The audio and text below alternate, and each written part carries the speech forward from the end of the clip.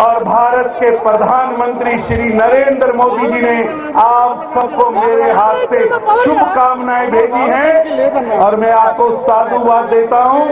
ये प्रजा संग्राम यात्रा, ये यात्रा 200 दिन चलने वाली है और इसका ये दूसरा पड़ाव जो लगभग 31 दिन चलेगा, इस पवित्र स्थान पर, जहाँ माता जी के दर्शन करने के बाद, उनसे आशीर्वाद लेने के बाद हम सब यहाँ इकट्ठे हुए हैं। मैं केसीआर की लंका को कहने आया हूँ। केसीआर साहेब, ये प्रजा संग्राम यात्रा, ये बंडी संजय के नेतृत्व में भारतीय जनता पार्टी के कार्यकर्ताओं का हजूम तुम्हारी इस लंका को बहा के ले जाएगा, बहा के ले जाएगा।